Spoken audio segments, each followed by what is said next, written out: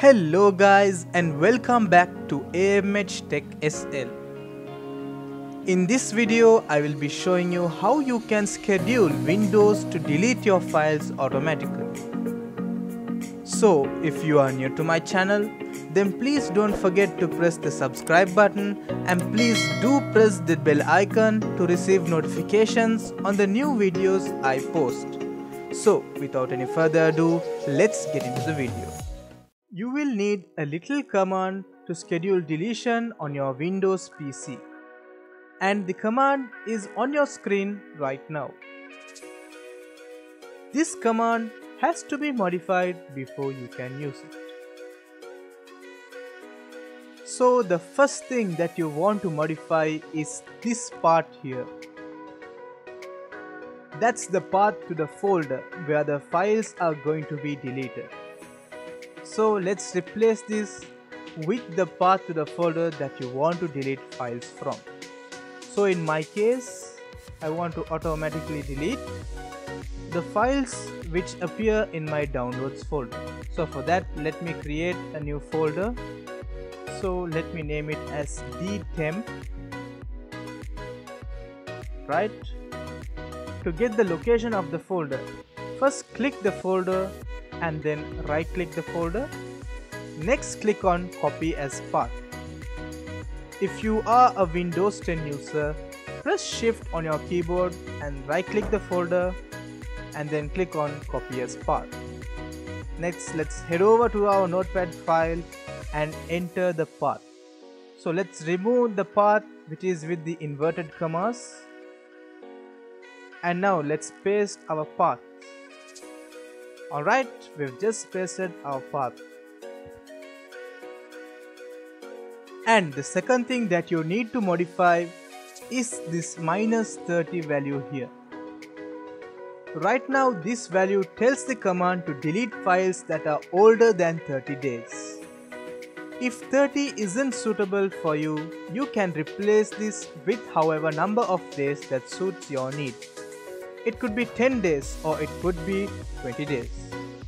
You can use any amount of days within this command.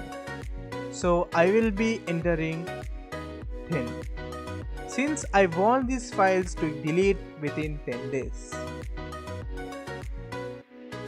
You can test this command by running it in command prompt.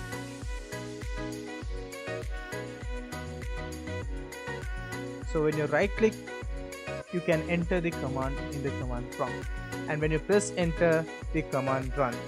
So you receive an error that no files found with the specified search criteria. So what does this command search for? This command search for files which have been modified in the past 10 days. So let's open the dtemp folder and you can see that it is empty. So if you have files that are older than 10 days then it surely will get deleted without an error. So why can't we always use the command by entering it in command prompt and running it?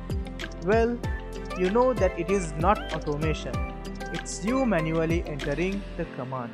To automate this command, you have to open another application which is built in the system that is known as Task Scheduler.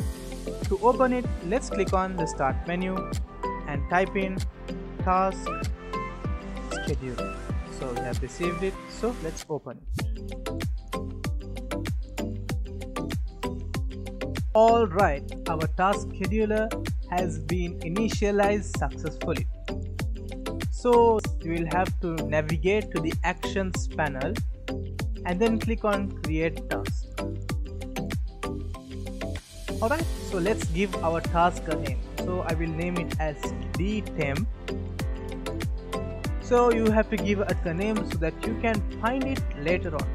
If you are fed up of Windows deleting your files on a scheduled time. Let's click on triggers click on new and then set it to daily so that our code runs daily and next click on ok. Click on the actions tab and then click on new. So the action is start a program. The program or script is you will have to type in for files. Right and then the arguments you will have to set is you have to exclude for files and then copy from backslash p till the end of this command. And paste it in the arguments field. Next click on ok. So for the final part of this scheduling go to settings. And then you will have to tick allow task to be run on demand. And then click the checkbox run task as soon as possible after a scheduled start is missed so next click on ok and we have successfully created the task to delete our files on a scheduled period of time. So this scheduled task would run every day and it will execute the command that you gave it as the command. It will delete files that are older than the number of days that you specified in the command that you entered. And one important thing that you should know is that when it checks the age of file, it looks at the date that the file was last modified. If you open the file, it's not going to make any difference. The command is still going to look at the last modified date, so if the file was never modified, it's still as old as its original modified date.